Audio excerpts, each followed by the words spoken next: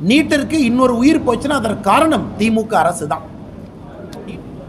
அதே நேரத்தில் நம்முடைய முதலமைச்சர் திரு மு க ஸ்டாலின் அவர்கள் நாளை ஆளுநர் அவர்களுடைய தேநீர் விருந்தை புறக்கணித்திருக்கின்றார். நீட்டை காரணம் காட்டி புறக்கணித்திருக்கின்றார். என்னிடத்தில் மாணவ செல்வங்கள் ஒரு பயிற்சியை ப- பரீட்சையை வெற்றி பெற முடியாமல் தன்னுடைய உயிரை மாய்த்து கொள்வதை பார்க்குறோம். இது அரசியல்வாதிகள் மறுபடியும் அதில் போய் அந்த திரிய மறுபடியும் தூண்டி அரசியல் பண்ணி அதன் மூலமாக ஒரு சென்சேஷன் உருவாக்குறதை நம்ம பார்க்குறோம் ஆளுங்கட்சியாக மாறிய பொழுது மறுபடியும் முதலமைச்சராக நீங்கள் நீட்டை வைத்து அரசியல் செய்வது எங்களுக்கு வருத்தம் அளிக்கிறது. வெறும் அரசியல் லாபத்திற்காக ஒரு முதலமைச்சரே தமிழ்நாட்டில் எதிர்க்கட்சி தலைவரை போல வேலை பார்க்குறாரு. அது ஆச்சரியமா இருக்கு. கக்கன் அவர்கள் இருந்த பள்ளிக்கல்வித்துறை இன்னைக்கு அன்பில் மகேஷ் பொய்யாமொழி அவர்கள் பள்ளிக்கல்வித்துறையில் அமைச்சராக இருக்கிறார். இன்னைக்கு பள்ளிக்கல்வித்துறை மொத்தமாக குழி தோண்டி புதைத்து விட்டார்.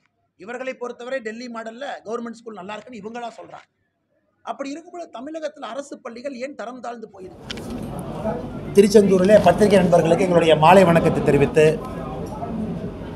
நானும் நம்முடைய முன்னாள் மாநில தலைவர் முன்னாள் அமைச்சர் அண்ணன் பொன்னார் அவர்கள் அவர்களோடு இந்த பகுதியை சார்ந்த நம்முடைய மூத்த தலைவர்கள் அண்ணன் பொன் பாலகணேபதி அவர்கள் சசிகலா புஷ்பா அவர்கள் ராஜகிரண் அவர்கள் அனைவரும் என் மண் என் மக்கள் யாத்திரையிலே பங்கேற்பதற்காக திருச்செந்தூர் வந்திருக்கின்றோம்.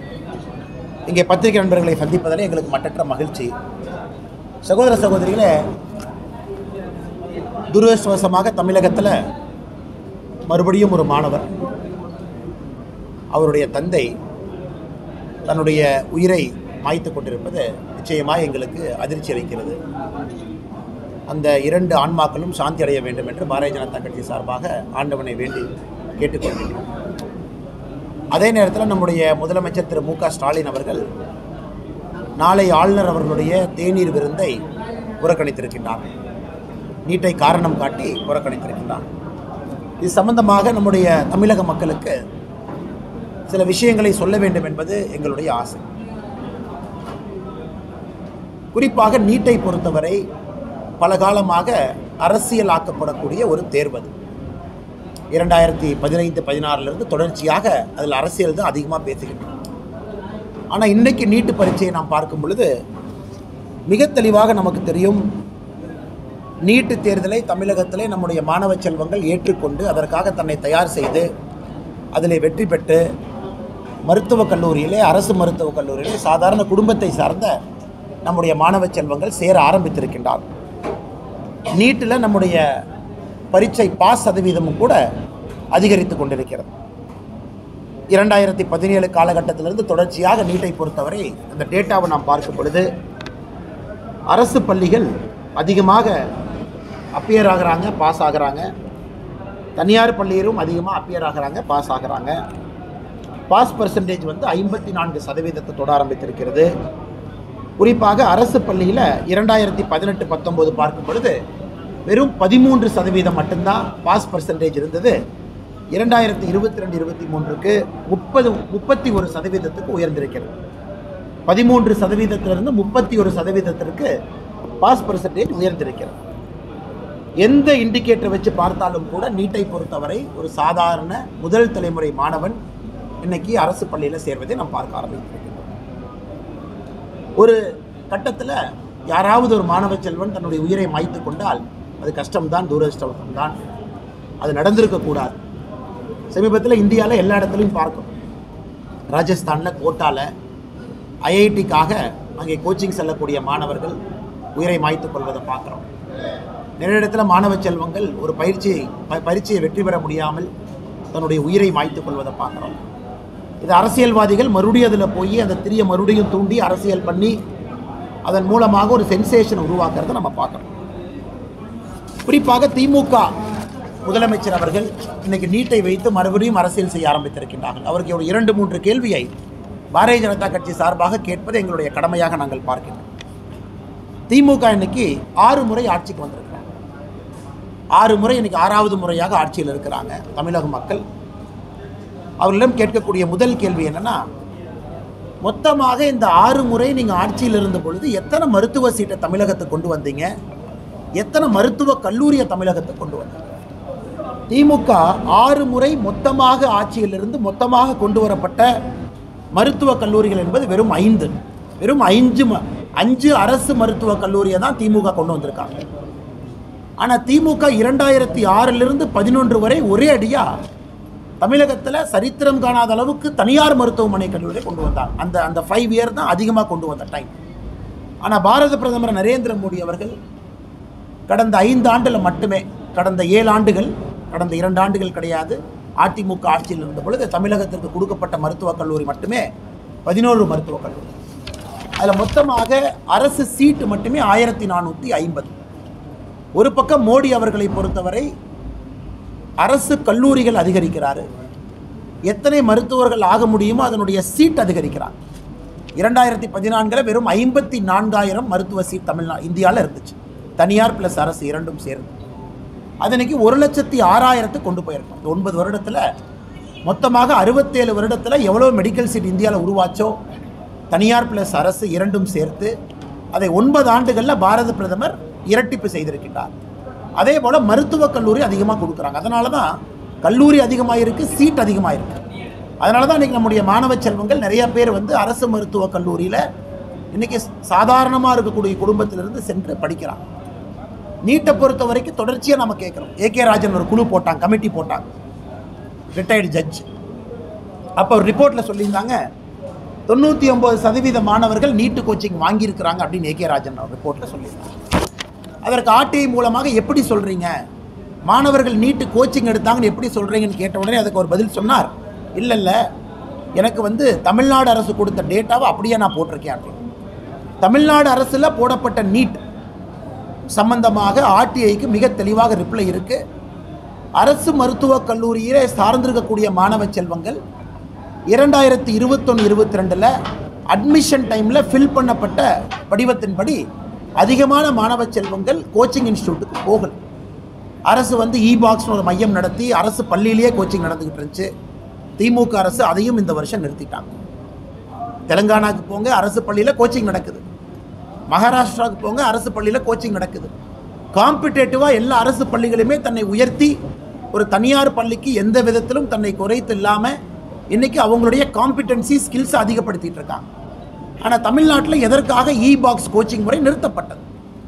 இரண்டாயிரத்தி இருபது இருபத்தொன்று இருபத்தி ரெண்டில் இருந்தது இருபத்தி ரெண்டு இருபத்தி மூணு கிடையாது. அதே போல் நம்முடைய பாடத்திட்டங்கள் பதினொ பன்னெண்டு பதினொன்றாவது பன்னெண்டாவது ரெண்டுமே ரிவைஸ் பண்ணியிருக்கோம். இரண்டாயிரத்தி பத்தொம்போது இரண்டாயிரத்தி இருபதில் பாடத்திட்டம் ரிவைஸ் ஆன பிறகு இன்னைக்கு நீட் எக்ஸாமில் அகில இந்திய ரேங்க் நம்பர் ஒன் தமிழ்நாடு. முதல் பத்தில் நாலு ரேங்க் தமிழ்நாடு. முதல் ஐம்பதில் நம்ம ரேங்க் வாங்கியிருக்கோம். இப்படி இருக்கும் பொழுது மறுபடியும் முதலமைச்சர் அவர்களே நியாயமாக இருக்கக்கூடிய முதலமைச்சர் நடுநிலைமையாக இருக்கக்கூடிய முதலமைச்சர் அவரே நீட்டை வைத்து அரசியல் செய்வது வேதனை அளிக்கிறது. நீட்டிற்கு இன்னொரு உயிர் போச்சுன்னா அதற்கு காரணம் திமுக அரசு தான் நீட்டை பற்றி விதண்டாவாதமாக பொய்களை சொல்லி அது ஒரு பூதமாக சித்தரித்து அதை ஒரு பேயாக காட்டி அதனால் ஒரு மனச்சுமையை நம்முடைய குழந்தைகளுக்கு ஏற்படுத்தி அதனால் திமுக எதிர்க்கட்சியாக இருந்த பொழுதும் சரி ஆளும் கட்சியாக இருந்த பொழுதும் சரி நீட்டை பற்றி தேவையில்லாத ஒரு சர்ச்சையை உருவாக்கி மாணவ செல்வங்களுக்கு பயத்தை ஏற்படுத்தி. பத்திரிகை நண்பர்கள்ட்ட ஒரே ஒரு கேள்வி கேட்க இன்னைக்கு எங்கே என்ட்ரன்ஸ் எக்ஸாம் இல்லை? குடிமை பணி தேர்வுக்கு என்ட்ரன்ஸ் எக்ஸாம் இருக்குது ஐஐடி போகணும் என்ட்ரன்ஸ் எக்ஸாம் இருக்குது ஐஏஎம் போகணும் என்ட்ரன்ஸ் எக்ஸாம் இருக்குது என்ட்ரன்ஸ் எக்ஸாம் இல்லாமல் எதுவுமே கிடையாது.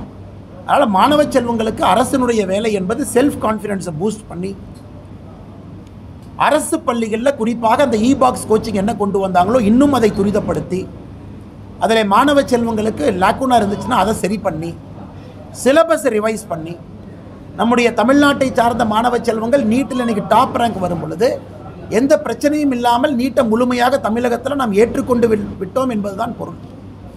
இதை வைத்து அரசியல் செய்வது நிச்சயமாக எங்களுக்கு வேதனை அளிக்குது அரசியலை அரசியலாக நாங்கள் அதை பார்க்கின்றோம். பிரச்சனையில் பதில் கொடுக்குறோம். அதை நாங்கள் வந்து ஒரு ஒரு பதிலுக்கும் நாங்கள் எங்கள் சைட்லேருந்து பதிலடி கொடுக்குறோம். அவங்களுடைய பதிலுக்கு.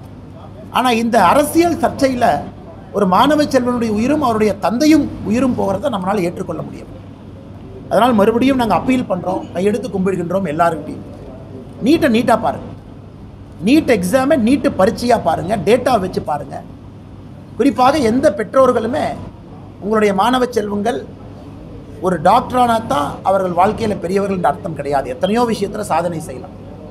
எத்தனையோ பேர் கிடைத்ததை கிடைக்காம அடுத்தது செகண்ட் தேர்ட் ஆப்ஷனில் உலக சாதனை செய்திருக்கக்கூடிய எத்தனையோ குழந்தைகளை நம்ம பார்க்கணும். அதனால் எங்களுடைய அப்பீல் முதலமைச்சர் அவர்களுக்கு நீட்டை வைத்து எதிர்க்கட்சியாக நீங்கள் அரசியல் செய்தது போதும். ஆளுங்கட்சியாக மாறிய பொழுது மறுபடியும் முதலமைச்சராக நீங்கள் நீட்டை வைத்து அரசியல் செய்வது எங்களுக்கு வருத்தம் அளிக்கிறது. சுப்ரீம் கோர்ட்டில் ஊர்ஜிதமான சட்டம். நீட் என்பது சுப்ரீம் கோர்ட்டில் போய் பல கேஸுகள்லாம் தாண்டி சுப்ரீம் கோர்ட்டில் அதிகாரப்பூர்வமாக ஜட்ஜ்மெண்ட்டால் தமிழ்நாட்டில் இன்னைக்கு இருக்குது காங்கிரஸில் கொண்டு வந்தாங்க இருந்தாலும் பிஜேபி ஓனர்ஷிப் எடுத்து நீட்டை பொறுத்தவரை இன்னைக்கு எல்லோருக்குமே சமமான ஒரு வாய்ப்பு உருவாக்கப்பட்டிருக்கிறது. அதுவும் தமிழ்நாட்டில் இந்த seven point five percent horizontal reservation வந்த பிறகு எத்தனையோ மாணவ செல்வங்கள் இன்னைக்கு அரசு பள்ளியிலிருந்து நிறைய பேர் போயிட்டு இருக்காங்க. எந்த பிரச்சனையும் இல்லாத தேர்வில் தயவு செய்து நீங்கள் ஒரு பிரச்சனையை ஆரம்பிக்காது இன்றைக்கு திருச்செந்தூருக்கு வந்திருக்கின்றோம். குறிப்பாக இந்த பகுதியில் நாம் பார்த்து கொண்டிருக்கின்றோம் சகோதர சகோதரிகளே. அமளி நகரில் ஒரு தூண்டில் வளைவு பாலத்திற்காக நம்முடைய மீனவ சொந்தங்கள் ஒரு வார காலமாக தொடர் போராட்டம் நடத்தி கொண்டிருக்கின்றார்கள்.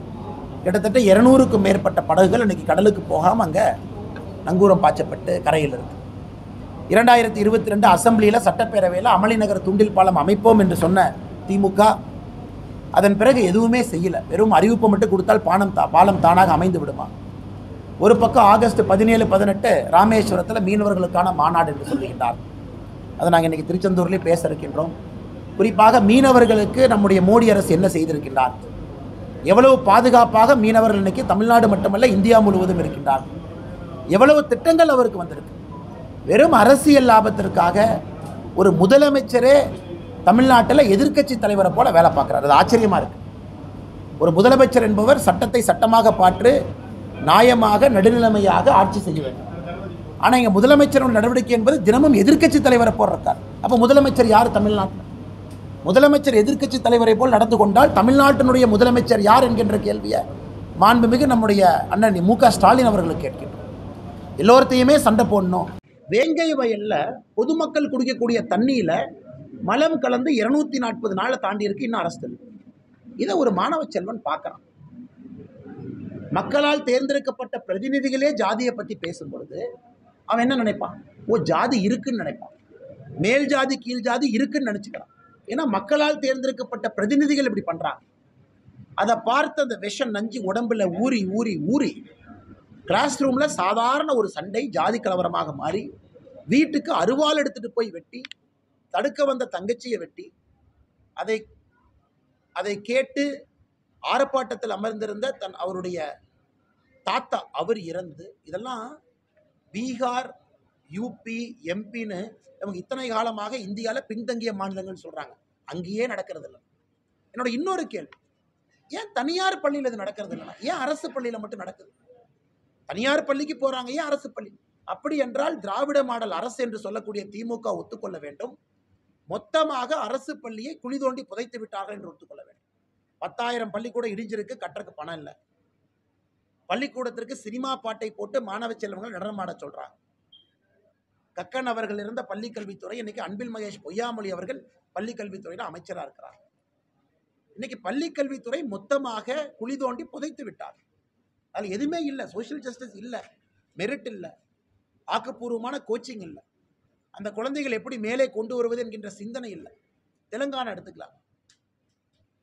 ஆந்திர பிரதேஷ் ஜெகன்மோகன் ரெட்டி. நமக்கு எதிரான சித்தாந்தத்தில் இருக்கக்கூடிய ஒரு கட்சி. எப்படி ஐஐடி ஐஎம்ல அவ்வளவு கவர்மெண்ட் ஸ்கூல் ஸ்டூடெண்ட்ஸ் பாஸ் ஆகுறாங்க? இந்தியாவில் அன்னைக்கு அதிகமாக பாஸ் ஆகக்கூடிய ஐஐடி ஐஎம் எல்லா கோச்சிங் இன்ஸ்டியூட்டும் ஆந்திராவில் இருக்கக்கூடிய அரசு பள்ளி பிரைவேட் ஸ்கூலில் பீட் பண்ணுறாங்க எப்படி? காம்பிடென்சியை உயர்த்தி இருக்கிறாங்க. இப்போ இவங்க சொல்கிறாங்க நான் டெல்லி மாடலை காப்பி பண்ணுறேன் டெல்லி மாடலை காப்பி பண்ணுறேன் இவர்களை பொறுத்தவரை டெல்லி மாடலில் கவர்மெண்ட் ஸ்கூல் நல்லா இருக்குன்னு இவங்களா சொல்கிறாங்க அப்படி இருக்கும்போது தமிழகத்தில் அரசு பள்ளிகள் ஏன் தரம் தாழ்ந்து போயிருக்கிறது? போட்டி பயிற்சி தேர்வு ஜாதி கலவரம் பள்ளிக்கு வந்து பியர் பாட்டில் பொன்முடி அவர்கள் சொல்லுகின்றார்கள் ஆசிரியர்களை மாணவர்கள் அடித்தா வாங்கிட்டு சொல்லிக் கொடுங்க. ஸோ இவர்களே அப்படி பேசும் பொழுது அரசு பள்ளியில் ஒரு டீச்சரின் மீது ஒரு மாணவ செல்வத்திற்கு எப்படி மரியாதை வரும்?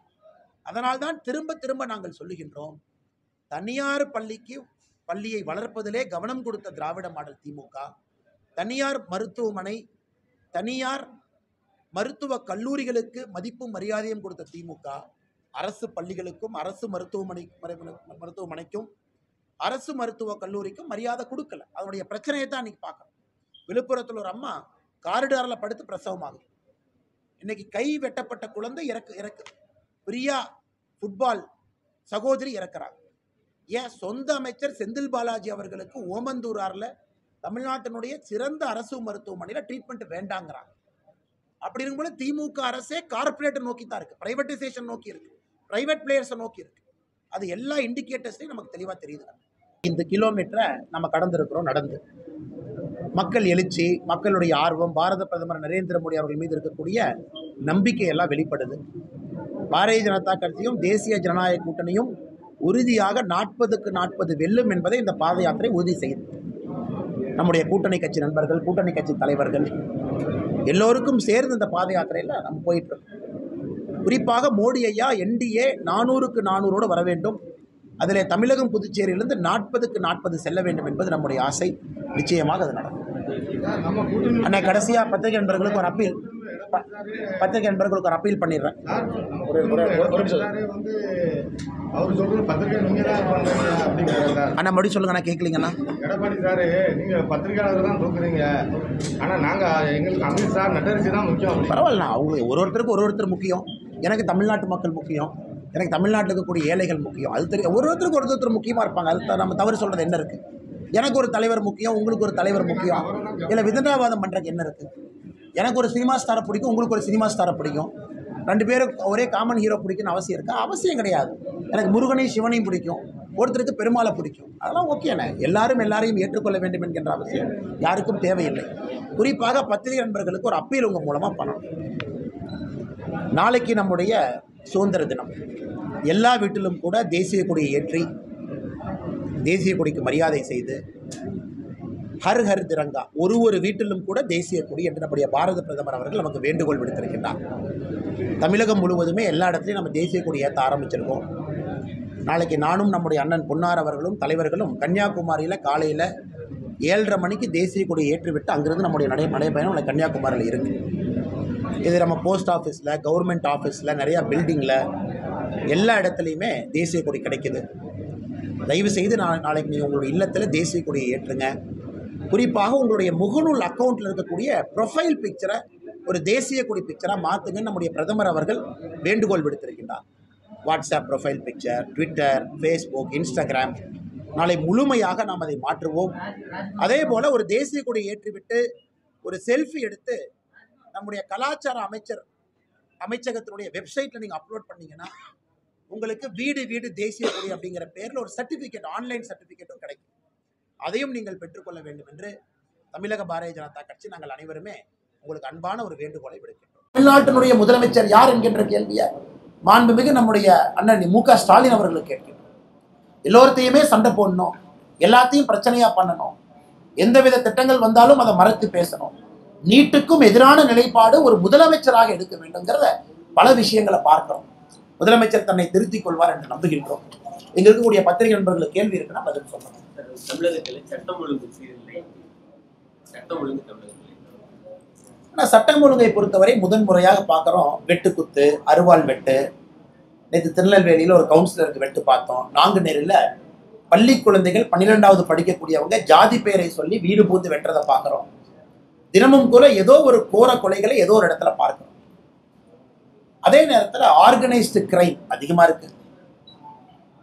கஞ்சாவை பொறுத்த வரைக்கும் phase one phase two phase three phase ஃபோர்னு அவங்க பாட்டுக்கு ஆப்ரேஷன் போயிட்டே இருக்கு.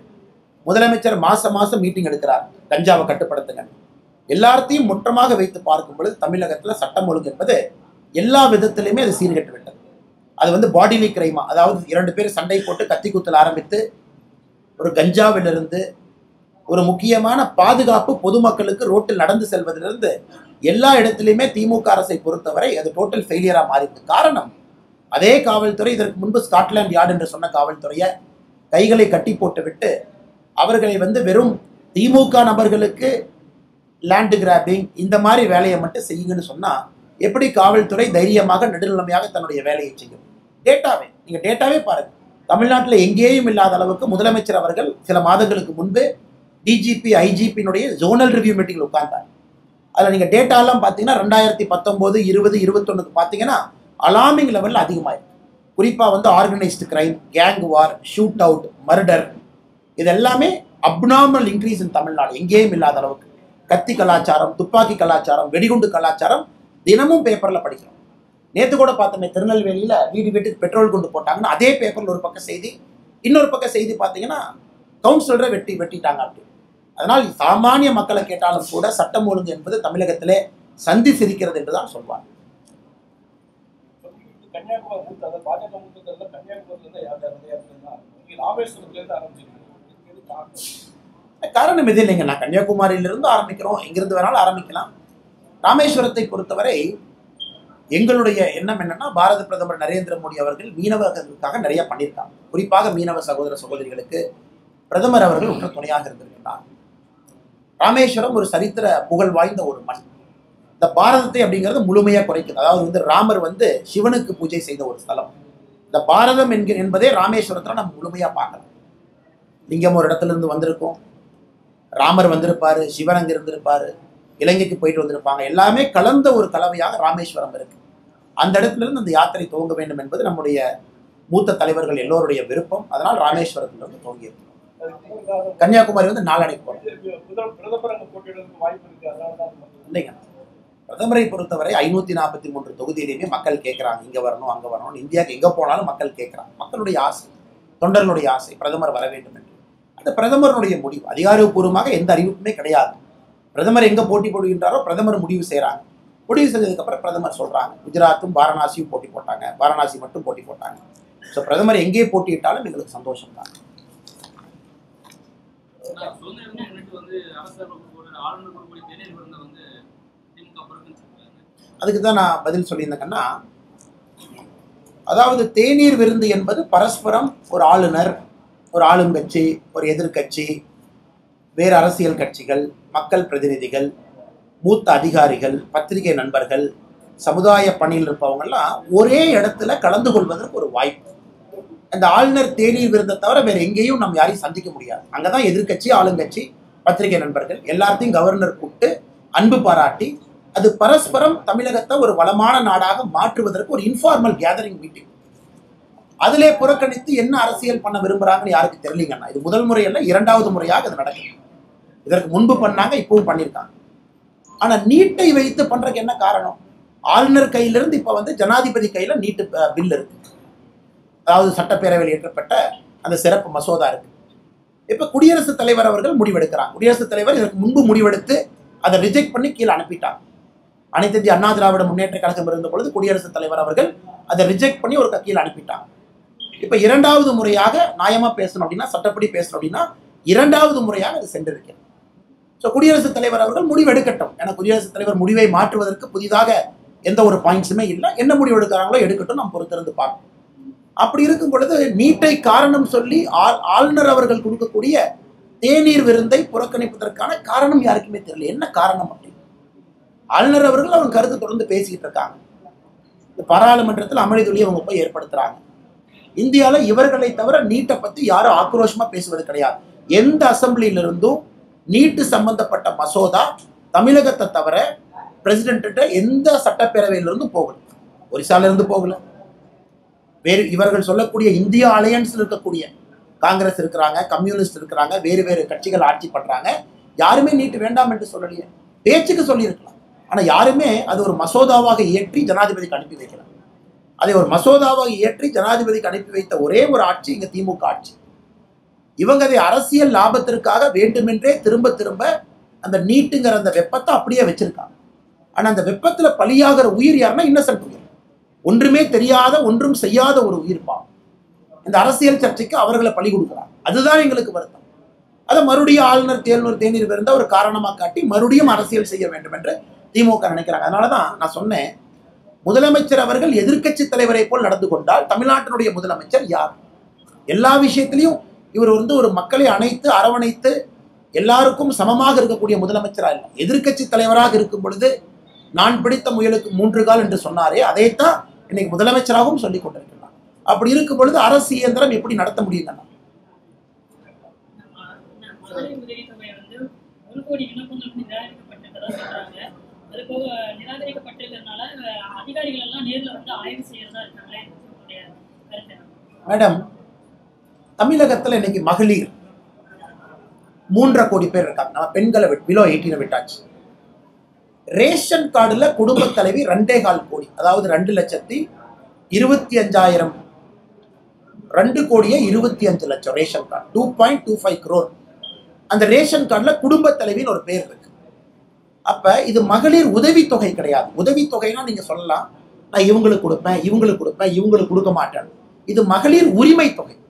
உரிமைனாவே மகளிராக இருப்பதற்காக குடும்ப தலைவியாக இருக்கின்ற காரணத்தினால் உரிமையாக உங்களுக்கு ஆயிரம் ரூபாய் போகும் அதனால தான் அதுக்கு பெயரே மகளிர் உரிமை தொகை மகளிர் உதவித்தொகை வைக்கணும்.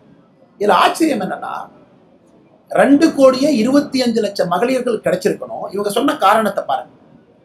ஒரே வீட்டுல மாமியாரோ மருமகள் இருக்கிறாங்க. ஒருத்தருக்கு மட்டும்தான் இன்னொருத்தருக்கு ரிஜெக்ட் அப்போ கூட்டு குடும்பங்கள் வேண்டாம் என்று தமிழகத்தில் சொல்கிறாங்களா ஓல்டேஜ் பென்ஷன் வாங்கியிருக்கீங்க ரிஜெக்ட் விவசாய pension வாங்கியிருக்கிறீங்க reject Indira Gandhi disability pension வாங்கியிருக்கிறீங்க reject current unit எவ்வளோ கன்சியூம் பண்ணிருக்கீங்க ரிஜெக்ட் வீட்டினுடைய அளவு ரிஜெக்ட் ஸோ நீங்கள் அந்த அவங்க இஷ்யூ பண்ணியிருக்கக்கூடிய அந்த ஆர்டரை படிச்சீங்கன்னா ரொம்ப விசித்திரமான விந்தையான ஒரு ஆர்டர் எத்தனை பேருக்கு அதிலிருந்து வெளியே எடுக்கலாம் என்று திட்டம் போட்டு எழுதப்பட்டது தான் இந்த மகளிர் உரிமை தொகைக்கான அரசாணை.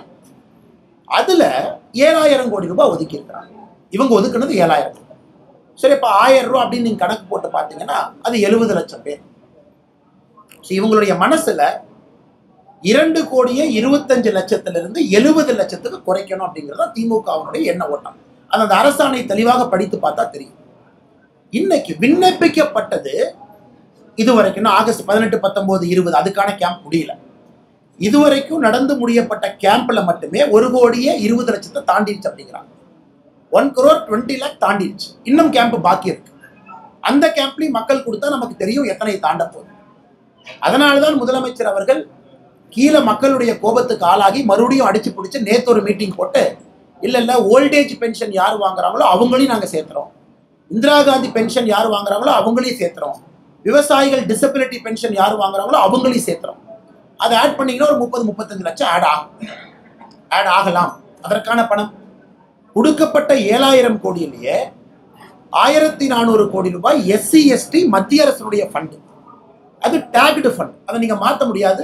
சிஏஜி விட மாட்டாங்க சிஏஜி என்பது இண்டிபெண்ட்டான ஒரு தணிக்கையாக இருக்கக்கூடிய ஒரு இண்டிபெண்ட் ஒரு ஏஜென்சி சிஏஜி வந்து டேக்டு ஃபண்டை இதுக்கு அலோவ் பண்ண மாட்டாங்க. அந்த எஸ்சி எஸ்டி ஃபண்ட் எதற்கு கொடுக்கப்பட்டிருக்குன்னா எஸ்சி எஸ்டி ஹாஸ்டல்ஸ் வன்கொடுமை தடுப்பு சட்டத்திற்கு ஆளான எஸ்சி எஸ்டியில் யாராச்சும் இருந்தாங்கன்னா அவங்களுக்கு காம்பன்சேஷன் ஸ்கீம் இதற்காக கொடுக்கப்பட்டது ஆயிரத்தி நானூறு கோடி ரூபாய். உங்களுக்கு தெரியும் தமிழகத்தில் திமுக ஆட்சிக்கு வந்த பிறகு எஸ்சி எஸ்டி மட்டுமே பத்தாயிரம் கோடி ரூபாய் திரும்ப அடைச்சிருக்காங்க அப்போ அதில் இருக்கக்கூடிய ஆயிரத்தி நானூறு கோடி இங்கே மாற்றி மொத்தமாக ஏழாயிரம் கோடி. அதுலேயே ஆயிரத்தி நானூறு கோடி ரூபாய் அவங்க தொட முடியாது.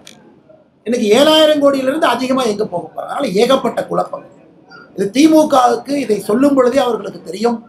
பணம் இல்லை இதை செய்ய முடியாது என்று முழுமையாக தெரிந்து மக்களை ஏமாற்றுவதற்காக மகளிர் உரிமை தொகை என்று சொல்லி இன்னைக்கு அதிகாரிகள் அலறி அலறியடிச்சு கிரவுண்ட் லெவலில் மக்களுக்கு இருக்கக்கூடிய கோபத்தை பார்த்து அதிகாரிகள் அலறியடிச்சு ஒரு ஒரு இடமா வர வேண்டிய நிலை ஏற்பட்டிருக்கு.